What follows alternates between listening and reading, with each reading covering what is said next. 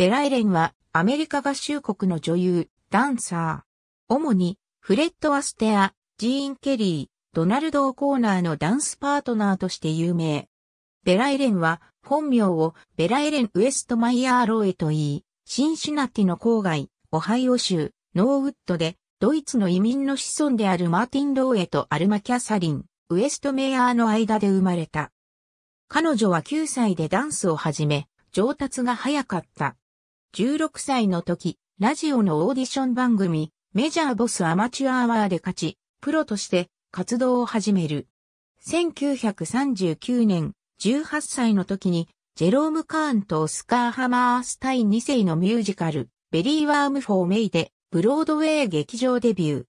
彼女は背が高くなかったが、ラジオシティミュージックホールのダンスカンパニー、ザ・ロケッツで最も若いメンバーの一人となった。これをきっかけに、ブロードウェイのミュージカル、パナマハッティ、バイ・ジュピター、コネティカット・ヤンキーで役を得て演じていたところを、サミュエル・ゴールドウィンに見出され、1945年の映画、ダニー・ケイの天国と地獄で、ダニー・ケイとバージニア・メイヨの相手役を演じることとなる。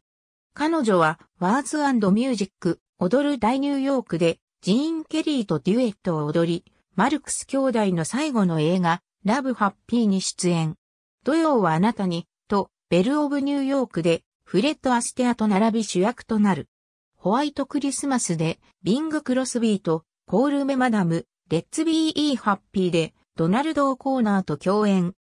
1950年代、彼女はハリウッドの最も細いウエストと言われ、拒食症で苦しんだと言われる。接触障害により彼女の実際の年齢より上に見えるため、1954年のホワイトクリスマスの彼女の衣装は、ローブとナイトウェアを含みすべて首を覆うようになっていたとも言われる。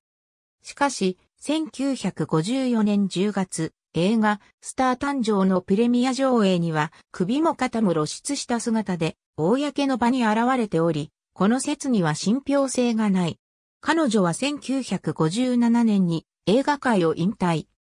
1958年や1959年にダイナショアやペリーコモのテレビバラエティ番組にゲスト出演したのが末期の芸能活動の例であった。ベラエレンは2回結婚していた。